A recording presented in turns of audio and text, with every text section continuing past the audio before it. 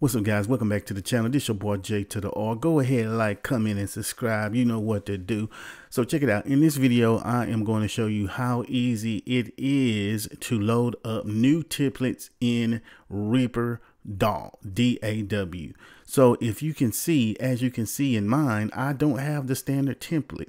I have a different template uploaded. So let's dive right into how to do that.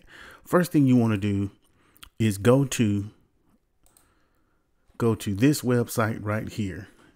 It's called stash.reaper.fm. You're going to find all of your free templates right here. And you can purchase some too if you want to, but we are going to go to the free ones. So once you go to the free ones, I'm going to hit the back button. So this is what it's going to look like. These are templates I think that people have made on their own but we're going to be using them. So all you got to do is find whatever template you like, you may want to use and whatnot. There's 62 pages of templates. So there, there is something for everybody. There are even templates that imitate Pro Tools. You can't beat that. And, but we're just going to find one for the sake of this particular video. So let's go to this template right here. Let's click on that.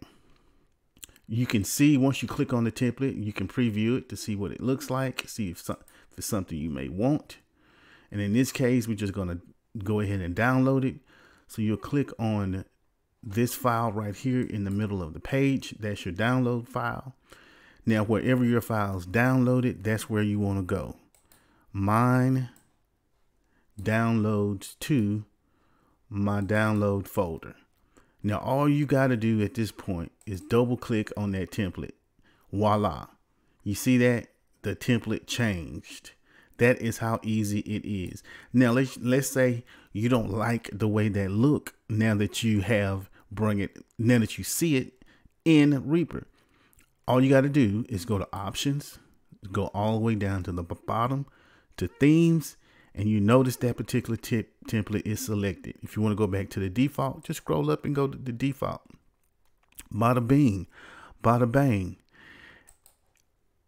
So you can just go down here and just change them to however you see fit. That's an old school template right there. So you can have as many as you want, I believe, but this is how you do it. So that's it, folks. That is how you change a template or a theme rather in Reaper. It's so easy. Out of all the particular DAWs, this is probably the best one when it comes to that. You know, how simple, you can't make that any more simple than that. It's as simple as simple can be. This your boy. Like, comment, and subscribe if you got something out of this video. Peace.